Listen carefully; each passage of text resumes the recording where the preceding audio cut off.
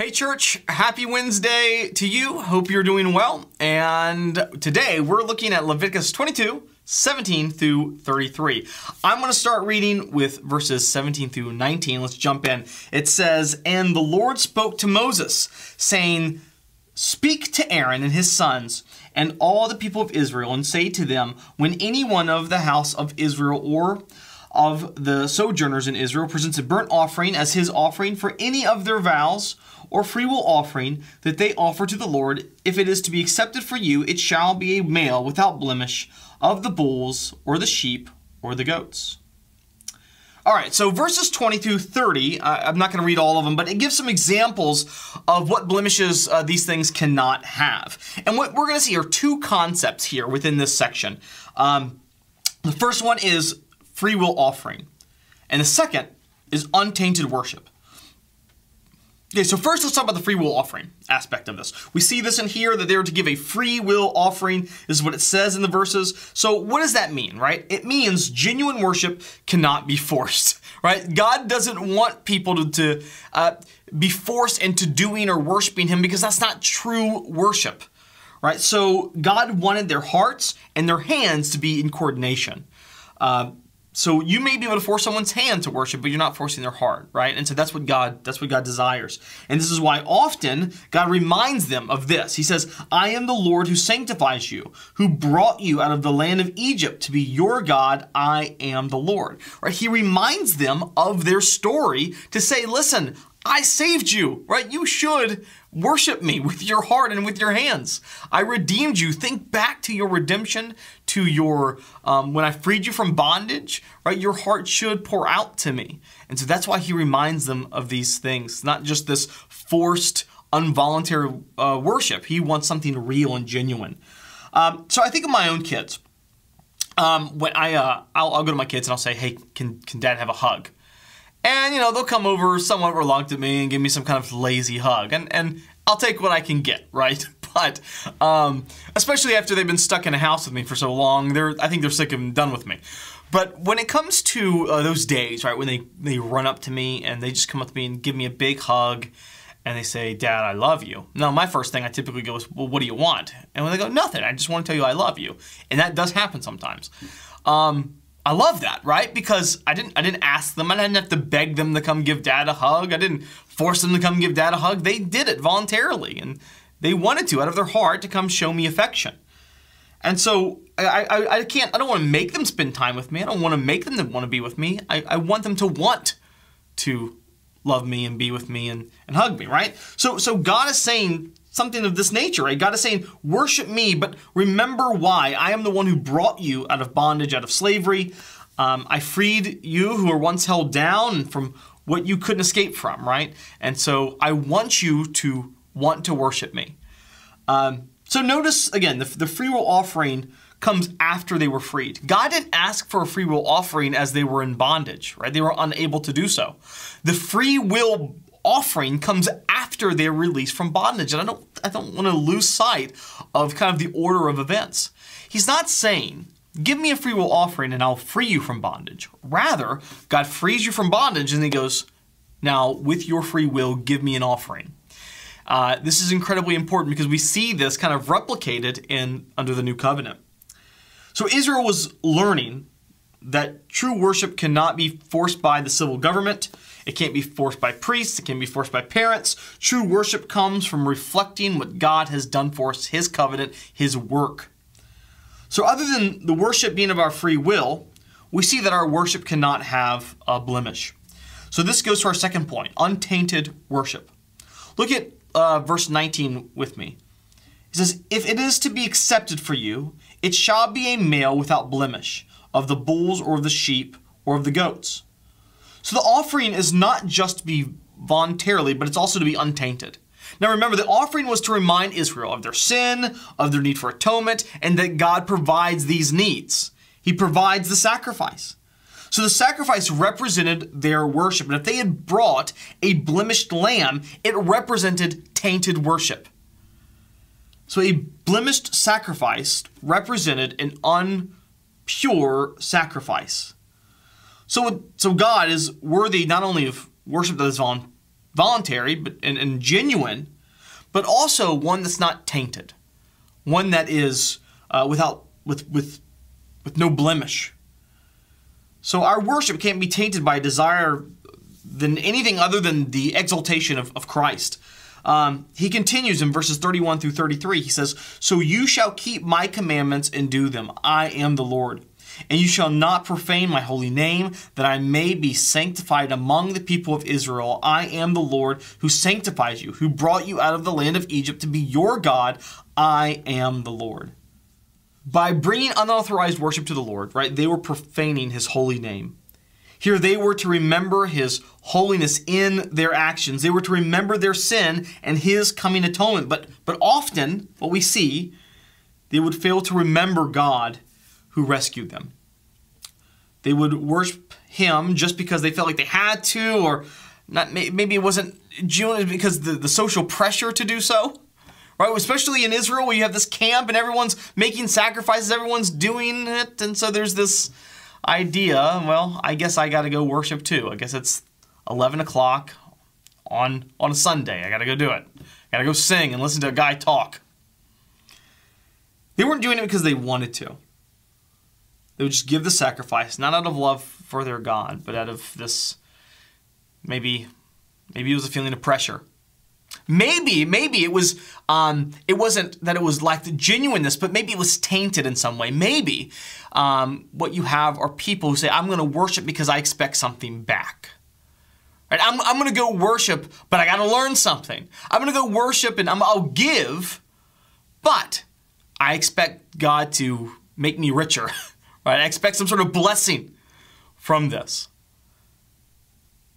Right? They would give and they would sacrifice, but what we see is that it was with a tainted heart. So before we kick it over to Will uh, for application on these verses, on, on what does genuine worship look like and how these verses of tainted worship apply to us, um, we're to spend some time in prayer. You're to see some prompts come up before you. And I just want you to take a moment and I want you to pray 15, 20 seconds for these things. As a church, rally around together, even as we're in our homes, to rally around and to lift these things up. Take them to the, our Lord who sits on his throne of grace and invites us to come to him. So, church, let us pray together now.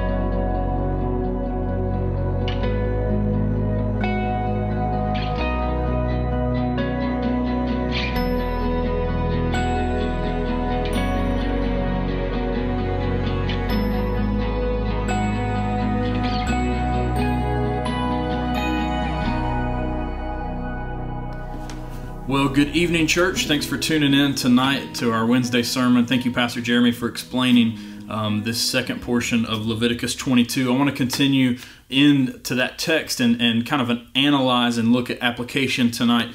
Um, the Levitical offerings, the main idea here is that the Levitical offerings had to be offerings and sacrifices that were without blemish. And um, they had to be as perfect as possible. Now, um, we know that no animal was sufficient to, to really atone for sins. There was not an actual atonement that was happening, it was more um, a ritual that they were learning through. And God was teaching them about the, the punishment for their sins always resulted in the shedding of blood, and that without the shedding of blood, there would be no forgiveness of sins. Of course, we know it was foreshadowing Jesus Christ. And so, as the people were learning that, uh, they, they were being taught that they needed a perfect sacrifice. And the reason we've titled this series, unfinished business is because their sacrifices, even though they would find the best animals they had, the best sacrifices they had, uh, they were always going to be a little bit insufficient. And so that, that there was never an end to these sacrifices. It was always unfinished business until Jesus, of course, came and uh, laid his life down and finished the business the, in the perfect sacrifice. He was the perfect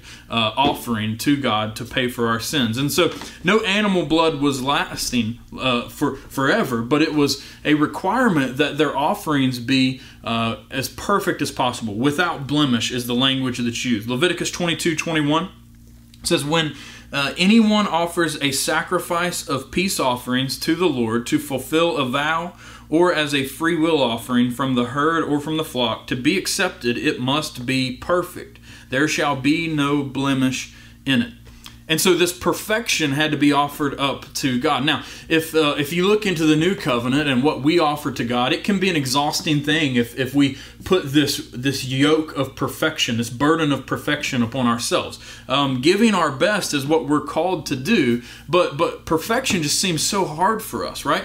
That that God has taught us in His Word that, that we are a people of grace, and and even though we fail, we are loved and accepted into the kingdom. Now we exist in a kingdom of paradox. That means that um, that that giving our best away is actually what's best for us. That that by giving things away, we are actually receiving the greatest blessings. And so God is teaching us something in this is that full reliance on Him is what's best for us. And so we don't do this to earn favor. We don't offer up offerings and sacrifices and devotion to our God to earn favor with God. We do it because we have favor with God.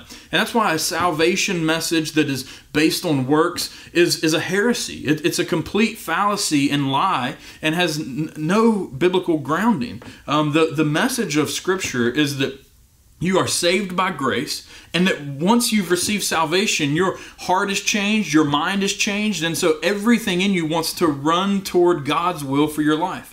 And so we do work and, and give offerings and sacrifice in our own lives for God's glory because He has saved us, not in an effort to earn His favor in some way. Think of it this way um, in a relationship, uh, if you're if you're dating someone, you are trying to earn their favor, right? You're trying to convince that person that you are uh, marriage material, that you are a worthy spouse, and you want to um, you want them to fall in love with you. You want them to uh, you want to court them to show them that you are marriage material, and then in an effort to eventually marry that person. But once you're married, um, our hope for marriage is that you're not just constantly trying to convince them that they should stay married to you. Uh, that that at least shouldn't be the goal for our marriages. But rather, once you're in the marriage relationship, you enjoy one another and you love one another, not to gain them, you've already gained them. Uh, but you do that out of, out of just love in the relationship. And the picture of, of God with us is a picture of marriage, not of dating. That we're not trying to earn God's favor. God has made vows to us, and we've made vows to Him that we are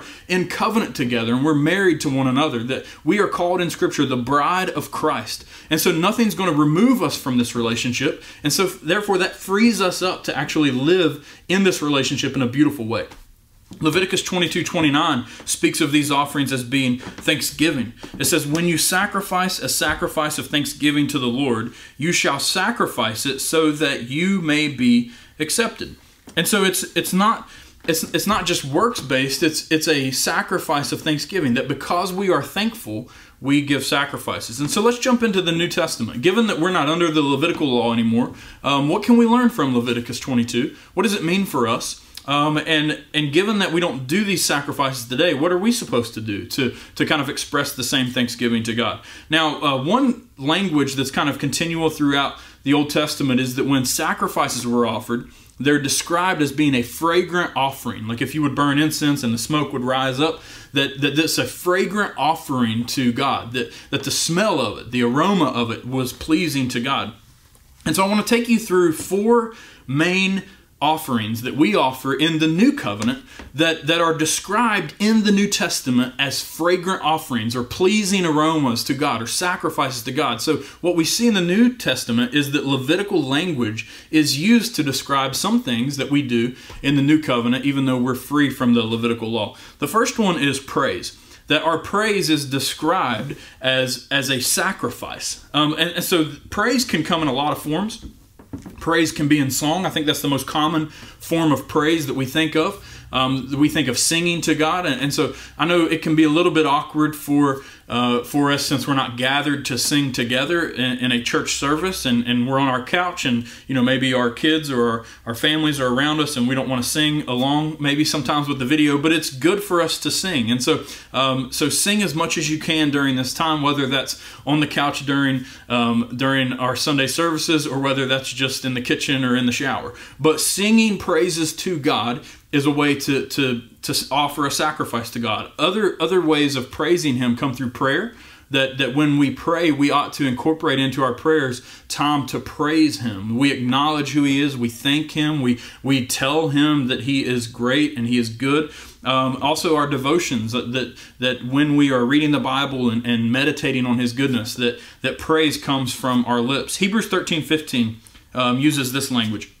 Through him, then, let us continually offer up a sacrifice of praise to God. That is the fruit of lips that acknowledge his name. One of the songs we sing at New Heights says has the has the lyric that um, that praise will ever be on our lips. And and so what what's beautiful about that is that every opportunity we get, we want to offer up glory to God. And so um, in the Old Testament, not every animal of the flock was sacrificed in the temple. Like they would keep most of their animals. Um, they would they would only sacrifice a small portion of their animals. Now, what what this implication means for us in the New Covenant is that not every single word is about Jesus, right? We can talk about the weather and we can talk about life and talk about sports or whatnot. Well, you're not really talking about sports right now. I think ping pong, table tennis is the only sport that's happening really.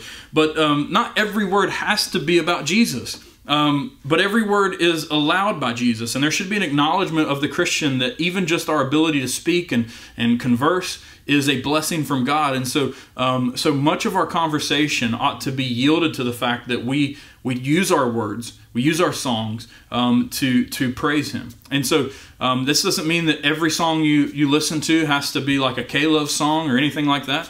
Um, I, I, think God appreciates us just enjoying good music, um, even if it's not always about Jesus. But this does mean that occasionally we need to turn on some worship music and we need to sing His praises. Um, Hebrews 13 16 tells us to not neglect to do good and to share what we have, for such sacrifices are pleasing to God.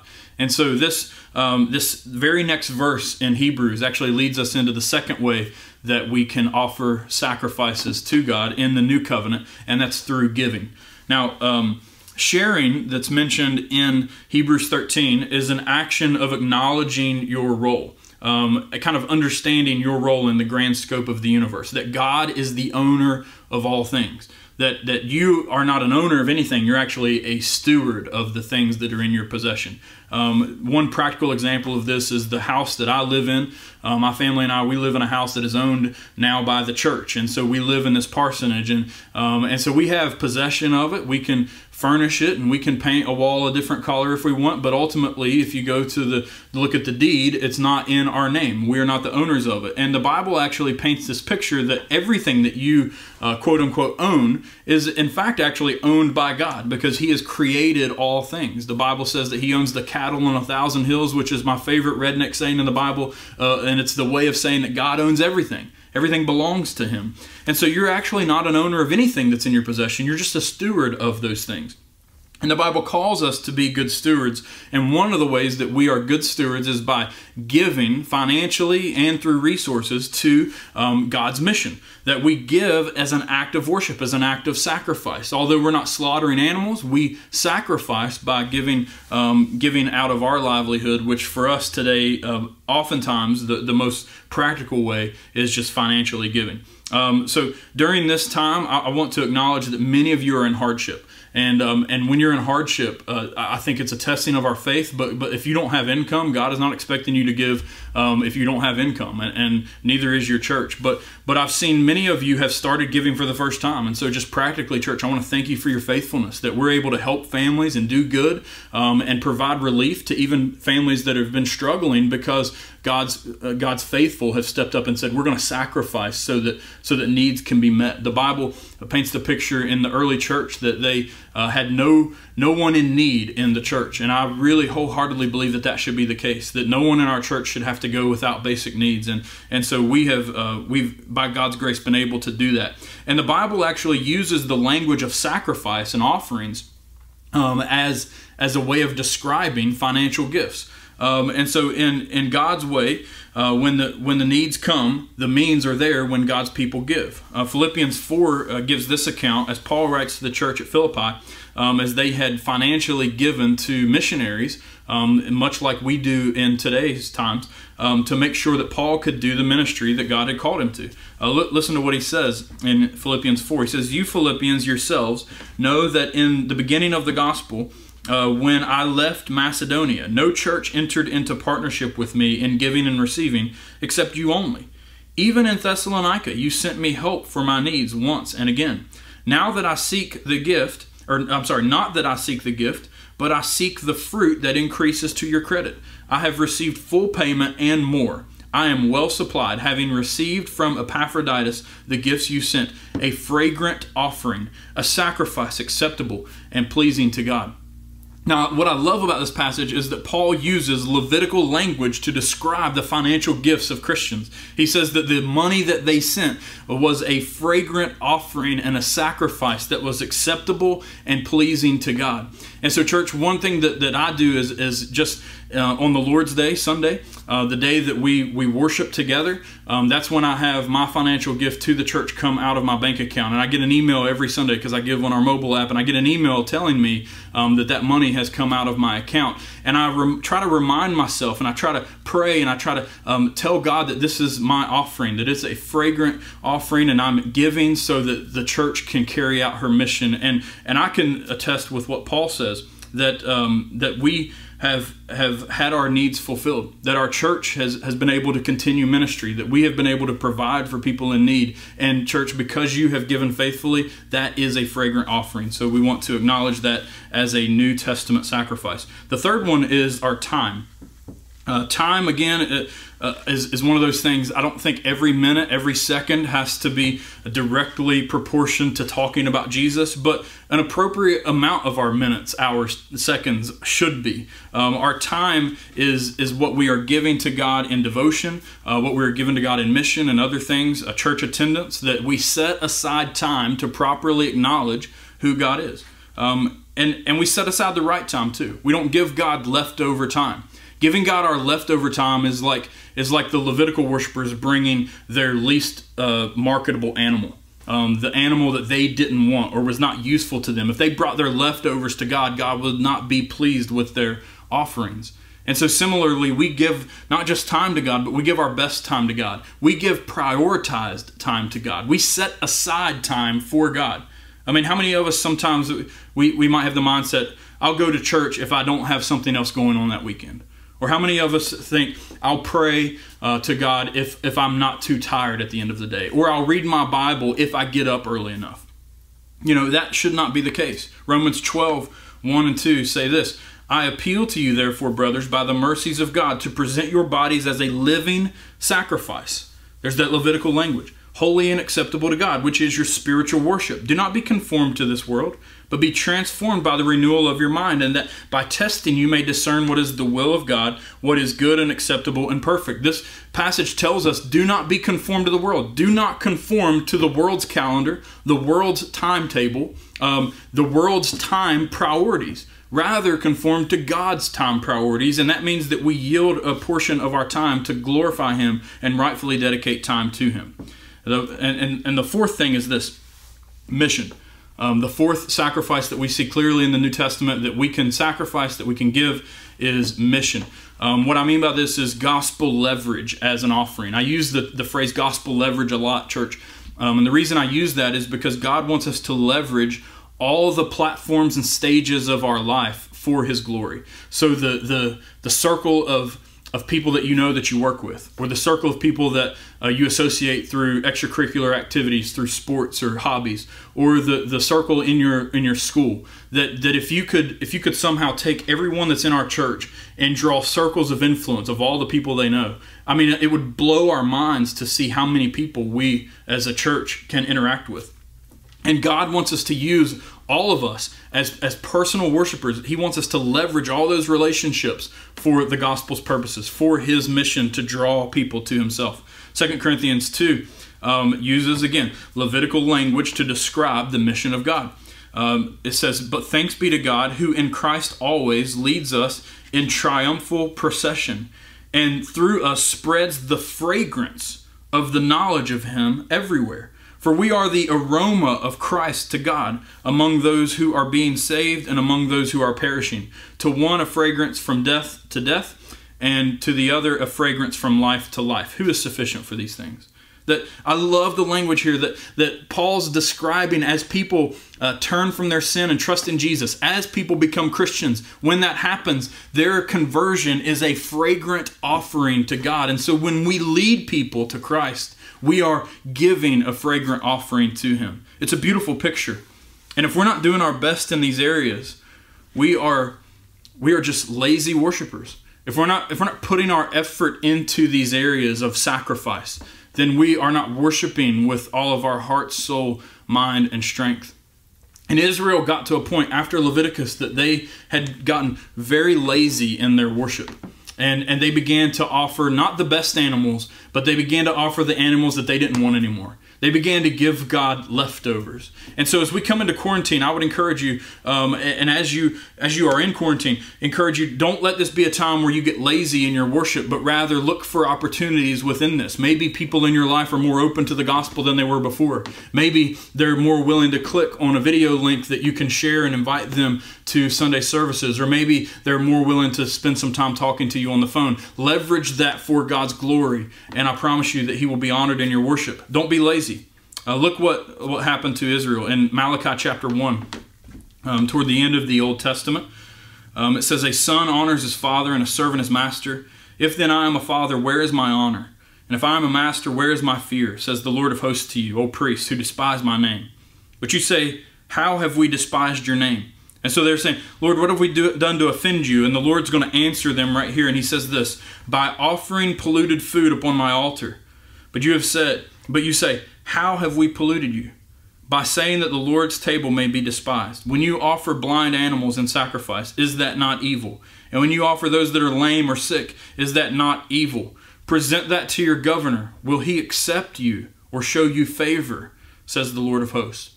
And so in Malachi, the Lord calls out Israel in their lazy worship, in their insufficient uh, second-hand sacrifices, and he said he challenges them. He says, offer it to someone else and see if they're pleased with it. Offer it to your governor and offer it to your king and see if he's happy with your gift. And I think sometimes we can look at our own life and we can maybe look at our time and we could say, it, it, would, our, would our spouse be pleased with how we allocate our time? And if not, why do we think God would be pleased with it?